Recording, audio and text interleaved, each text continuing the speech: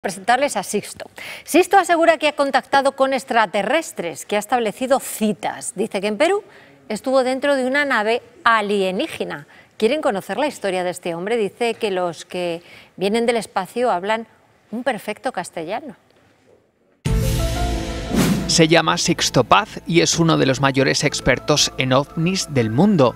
Sixto, tú eres un contactado de los extraterrestres desde hace 45 años.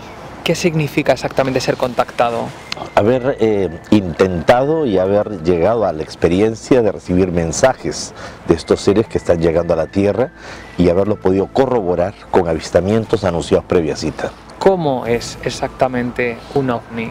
Hay 167 formas diferentes por estadística de objetos. Objetos en forma de cilindro, en forma de disco, en forma de diamante, forma de esfera, a la delta. Algunos de ellos observados en México y en la isla de Pascua, como muestran estas imágenes. En tu caso, ¿has estado alguna vez en alguna nave alienígena?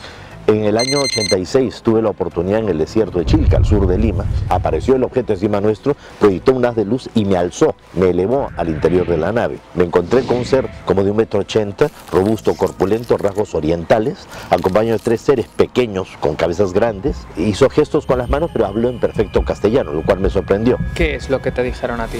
Lo que me dijeron ellos es que estamos viviendo el final de una crisis de crecimiento y una de las cosas que va a generar el gran cambio, el gran despertar de conciencia es que los gobiernos ya no van a poder eh, ocultar más la información y van a dar a conocer de que no estamos solos.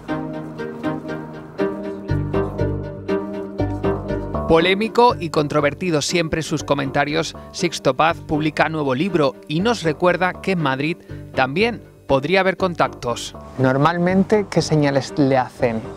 Mayormente es algo, una sensación, una intuición de que ellos están cerca, porque la comunicación es mental, telepática. Y lugares como este, el Pantano de San Juan y, el Robledo de Chabela, son muy buenos lugares, están muy cerca de Madrid, como para que ustedes puedan venirse y predisponerse de pronto para una observación o para un contacto. Y no son los únicos. El Cerro de los Ángeles o el Embalse del Atazar son otros de los puntos calientes en la ufología madrileña. En conclusión, Rafa, Madrid está lleno de lugares donde aparecen los ovnis, las montañas, los pantanos, pero realmente, ¿qué son los ovnis? No lo sabemos.